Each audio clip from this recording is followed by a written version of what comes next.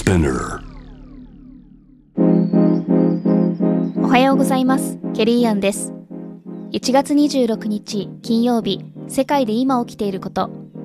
EU で今年3月から施行される DMA デジタル市場法。テック企業に対するそのインパクトは非常に大きなものになりそうです。このポッドキャストデイリーブリーフでは世界で今まさに報じられた最新のニュースをいち早く声でお届けします。アップル独占の時代は変わるのかアップルは EU 域内において自社のアプリストア以外でのアプリのダウンロードを許容していく方針を明らかにしました。この変更は EU が今年3月から施行を予定している DMA に準拠するためのもので、アプリ内課金についての手数料についても大幅な減額が進められる予定です。特にこの手数料、いわゆるアップル税はアプリ開発者に対して売上の最大30%の支払いを求めるもので、かねてより大きな不満が上がっていました。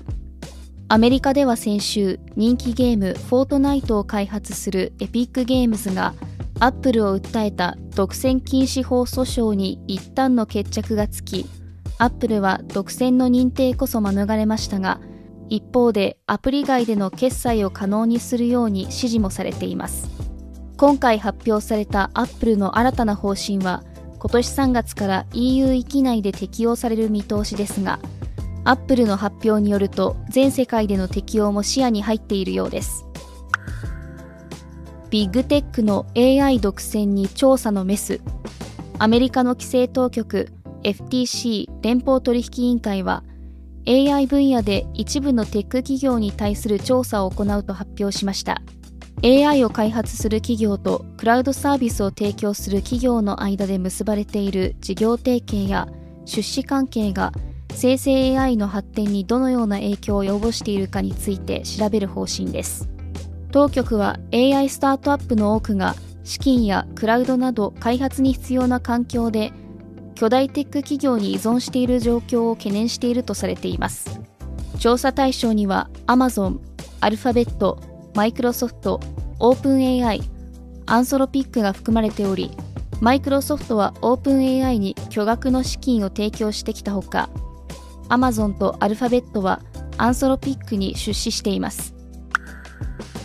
テック企業の人員削減が止まらない。マイクロソフトはビデオゲーム部門全体で1900人規模のレイオフに踏み切る見通しです。この人員削減には、昨年同社がおよそ10兆円で買収したアクティビジョン・ブリザードの社員も含まれています。また、アクティビジョンでマイクロソフトによる買収前の6年前から進められてきた大型ゲームの開発がお蔵入りになったことも報じられています。今年に入り、テック大手を中心に人員削減のニュースが相次いで報じられていますが、同じゲーム業界では今週23日、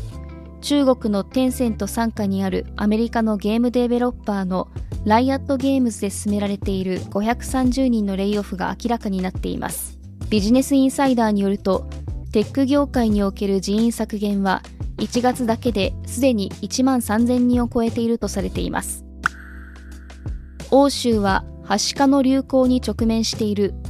WHO 世界保健機関は今週ヨーロッパでの2023年のはしかの発症報告数が2022年と比べて40倍以上になっていると発表しました。このうちおよそ3分の1はカザフスタンで報告されており、主に定期予防接種を受けなかった子どもたちの間で流行しているとみられます。子どもが感染した場合、下痢や脱水症状、肺炎につながる可能性もあります。